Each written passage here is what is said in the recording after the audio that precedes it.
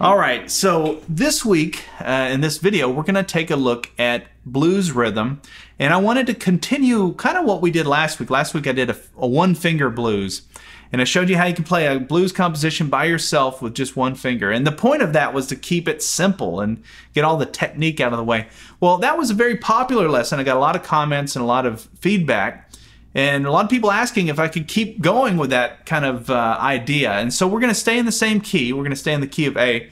But I wanted to talk about a, a classic blues rhythm that's played when you're playing a real slow, like a 6-8 blues. Uh, and it doesn't get talked about enough. It's a T-Bone Walker jazz style to playing blues rhythm, but it just sounds great for a slow blues. And so that's what we're going to look at in this video. And I'm going to show you how you can play it in two positions uh, using two different shapes. And we'll also look at how you can take those chord shapes and slide them around and, and create some embellishments with that.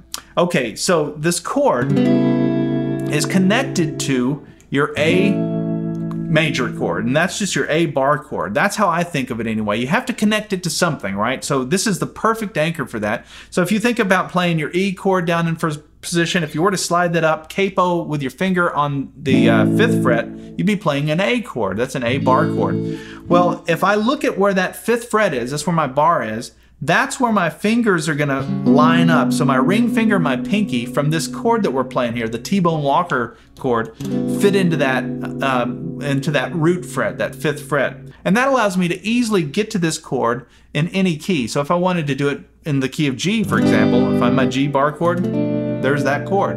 Okay, so let me show you how you make the chord. It's actually very easy to chord to make because we're just going to take the D chord shape uh, from first position, the D chord that you know how to make, and we're just going to remake that chord here. And when you do that, your index finger is on the fourth fret, fifth string. So you've got that sound, and then you add your pinky to the fifth fret, second string. So in, in actual fact, when you look at the chord, it makes a little uh, box there where you've got two fingers on the fourth fret and then two fingers on the fifth fret, and they're kind of staggered. And you're playing the middle four strings. You're not playing the high E or the low E. And that's that chord shape. And that chord would be considered an A 9. It's actually an A9 with a C sharp in the bass. That's how I think of it. So it's an A9 over C sharp. Now, you know, there's different ways you could look at the chord. It could be also considered a C sharp minor 7 flat 5, but that doesn't do us any good because we're in, playing in the key of A, so we want to relate everything in terms of the chords we're going to be, be making to the chords that we're playing. So that's how you make that chord. It's an A9. Now, what's nice about this chord is you can slide it one fret above, one fret below, and then back to the where the root position. So that allows you to play that that kind of stormy Monday thing. So that's what T-Bone Walker would do. He uses that chord in, in really just about everything. And you, you realize that with a lot of the old blues guys, they would have their little bag of licks that they would use and they would just repurpose them over and over again. But that's what gave them their sound. And that's how we know Albert King and T-Bone and BB and all of those guys is by those things that they just would repeat and they would drill into our brains. So it's okay to repeat yourself. So you remember that. All the blues legends did it. So don't feel bad about that. If you keep feel like you keep doing the same thing, maybe that's just your sound. Okay, so that's the, the chord. That's how you can relate it to the major bar chord. So now you can find it. So let's do this first as a, a little practice. Uh, if you can make that chord then, grab your guitar and make it with me. So that's the one chord. Now let's go to the four chord in the blues, which will be a, a D. So we're playing that, we're playing this in the key of A. So the four chord's a D. So let's look at where our D chord is using that bar chord shape. That would be up here. Uh, so you're barring on the 10th fret. So that means to make that T-bone chord or that D9 chord, we can make it like that. So now we got the A, A9, and now we've got the D9. To get to the 5 chord, you just go up two frets from there, always. Whatever you're doing for your 4, you just go up two more frets, and there's your 5 chord. So there's a 5, which is the E9, back to the D9, and then back to the A9. So let's start off by just staying in that one position like that, and then we'll get more uh, efficient with it. But um, if you were to play a blues like this, go to the four chord, then back to the one chord. You can go up a half step. Now watch this. Now to get back to the four chord, sometimes I hear T-Bone go like this. Really cool, right? Just walking it straight up. So taking that same shape and literally going up one fret each time. It works out so that you land on the four chord. And you can slide up one fret, back, back to the one.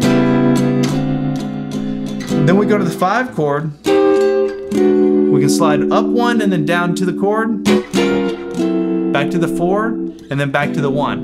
Okay, so that's our first thing. Now we got just sort of the feel. You just want to put it in your ear first. The next thing we're going to do is we're going to, instead of jumping around so much, we're going to be more efficient with the way that we make the chord. So we can make the four chord off of the A shape. So this is where it starts to get really interesting. The one chord we made off of the E shape, right? We can picture that. Now, if we play the A shape, for the four chords. That would be our D chord when we're playing it here. It's right in position where we were with the one chord. So it makes it makes a lot more sense to play the one, the four, and then the five up here, right? So there's our four chord. So what we're gonna do now is we're gonna make this shape, which is a D, it's a D9, but we're just making it in a different spot. So to make this, we're gonna play the D7 chord shape. Think of your D7 chord that you learned in first position. You're gonna take that same shape, but you're gonna play it here so that you're Middle finger is on the fifth fret, fifth string. Sounds like that. And that's going to be your D, and this is going to be part of your D9. We're just going to take our pinky now and bar strings one and two on the fifth fret. And listen. You can play all five strings, and that gives you a really big, full sounding D9 chord.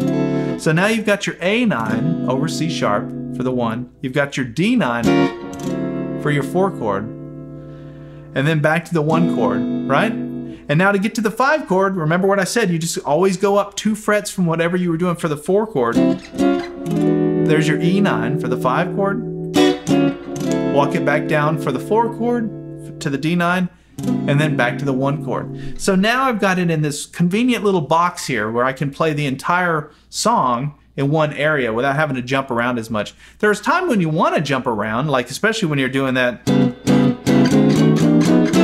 that kind of thing. I mean, there's a reason for that. But it's nice to keep all your chords in one area because it allows you to work in some fill licks if you want to do that. And, and they don't have to be fancy. You can stay within that minor pentatonic scale pattern one and just throw them in in between the chords. So you could do something like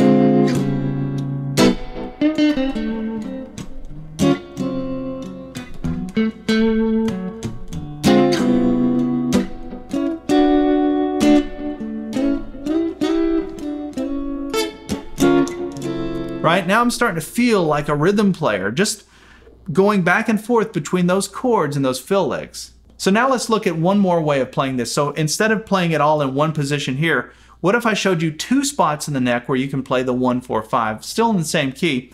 So instead of me starting with the E shape for the one chord, what if I started with the A shape for the one chord? So uh, now if I'm down here, I, am running out of room to demonstrate this, so I'm gonna play it up here. So that would be the A shape. I'm playing the A chord, but just using the A shape out of cage, playing it up here. You wouldn't normally do that, but again, it's to prove a point. But I'm gonna go ahead and make the nine chord off of that chord shape. Now that's what I was using when I was playing the four chord here, but now I'm doing it here. Hopefully that makes sense. This is the A9 chord. So that's our one chord. So then that means our four chord is the D chord. And instead of me using this D, I'm gonna make it play the D here because it's closer, right? So that means I play the little box shape. So that's my four chord. So I'm basically just reversing everything I did. So now I've got this for the one chord. Here's the four. Right, back to the one. I can slide it like I did before. There's the four, and then we go to the five. We just go up two frets, back to the four, and back to the one. The only last little thing I'm gonna throw in is instead of playing that where I've, I'm cramming all the fingers into, into these frets like this, what I can do if I just wanna play the triad is I can just bar like we did last week, and this is sort of how it ties into last week. We talked about the A6 to the A9 chord. You can use that same technique where I, I just go like that and let that represent the A chord, right? Instead of getting the full chord, I'm just getting the triad. And if you had a full band, you had a bass player uh, going, it would sound great and it would totally be in context. Even if you don't, as long as you play the bass note, it, it makes sense to your ear. All right, well, hopefully that's giving you some ideas for the T-Bone Walker style, uh, you know, chord arrangement and just giving you some different ways to think about uh, playing a slow blues rhythm. All right, we'll see you next week for something new.